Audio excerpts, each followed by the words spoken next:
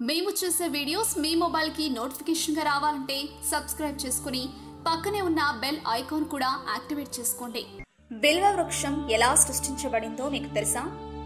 ఒకరోజు వైకుంఠంలో లక్ష్మీదేవి శ్రీవారికి సేవలు చేస్తుండగా సంతృష్టుడు అయిన శ్రీహరి ఏ వరం కావాలో కోరుకోమన్నాడు. అందుకామె ఏ భార్య అయినా భర్త అనురాగానే కోరుకుంటుంది. మీ అనురాగం నాకు పుష్కలంగా లభిస్తున్నప్పుడు నాకంటే అదృష్టవంతురాలు ఎవరు ఉంటారో చెప్పండి అని చెప్పింది. ఆమె మాటలు విన్న శ్రీహరి ఆమెకు పరమేశ్వర అనుగ్రహం కూడా కావాలని ఆయన ప్రసన్నం చేసుకోమని చెప్తాడు. తద్వారా ఒక లోకోపకారం కూడా జరగనుందని శ్రీహరి పలుకుతాడు. అలా శ్రీహరి అనుగ్రహం పొందిన లక్ష్మీదేవి భూలోకం చేరుకుని తపస్సు చేసుకునేందుకు తగిన స్థలాన్ని వెతుకుతుండగా అటుగా వచ్చిన నారదుడు అనువైన చోటును చూపుతాడు. ఆయన సూచన ప్రకారం శ్రీశైలం క్షేత్రం శ్రీపులోని పాతాళ గంగను చేరుకుని ఓ అస్తిత్వ వృక్షం నీడన తపస్సు మొదలుపెట్టింది. అయితే తపస్సును ప్రారంభించే ముందు గణపతిని ప్రార్థించకుండా పొరపాటు చేసింది.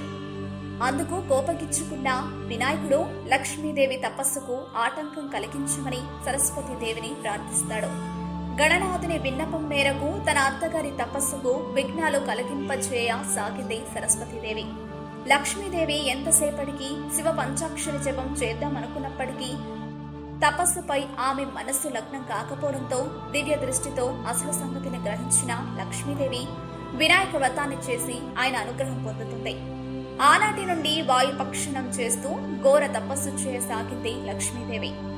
అయినా పరమేశ్వరుడు ప్రత్యక్షం కాలేదు. చుట్టూ పుట్టలు పెరిగి అనంతరం ఆమె దేహం నుండి దివ్య తేజోమాయ అగ్ని బయల్ విడలి సమస్త లోకాలను దహించడానికి బయలుదేరింది. ఇది చూసిన ఋషులు దేవతలు పరమేశ్వరుడికి మొరపెట్టుకున్నారు. అప్పుడు పరమశివుడు నందీశ్వరుడిని భూలోకానికి పంపాడు. ఒక బ్రాహ్మణుని వేషంలో లక్ష్మీదేవి వద్దకు వచ్చిన నందీశ్వరుడు ఆమె మనోభిష్టం నెరవేరాలంటే రుద్రహోమం చేయాలని అందుకు తగిన ఏర్పాట్లు చేసుకోమని అయితే స్వామి నివేదనకు ఒక శరీర అవయవాన్ని సమర్పించాలని చెప్పి వెళ్ళిపోయాడు వెంటనే లక్ష్మీదేవి సప్త ఋషులను ఋత్వికులుగా నిర్మించుకుని రుద్రయాగాన్ని ప్రారంభించింది. యాగం నిర్విఘ్నంగా ముగియడంతో హోమగుండం నుండి ఓ వికృత శక్తి బయటకు వచ్చి ఆకలి ఆకలి అని కేకలు వేయగా సాగింది. అప్పుడు లక్ష్మీదేవి ఖడ్గంతో తన వామ భాగ స్థానాన్ని శక్తికి సమర్పించకపోగా ఆ శక్తి స్థానంలో పరమేశ్వరుడు ప్రత్యక్షమై లక్ష్మీదేవిని కరుణించి ఆమె వక్ష భాగాల్లో ఎలాంటి లోపం లేకుండా చేసి వరం కోరుకోమన్నాడు.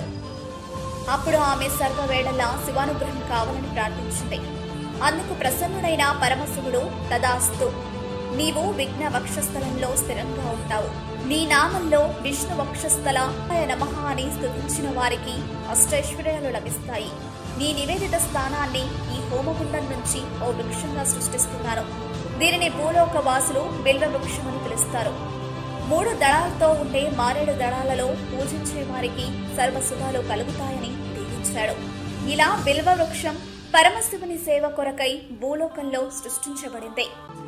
ఇలాంటి మరెన్నో విషయాలు మీరు తెలుసుకోవాలనుకుంటే వెంటనే మా ఛానల్ని సబ్స్క్రైబ్ చేయండి. ఈ వీడియోని మీ మిత్రులతో షేర్ చేసుకోండి.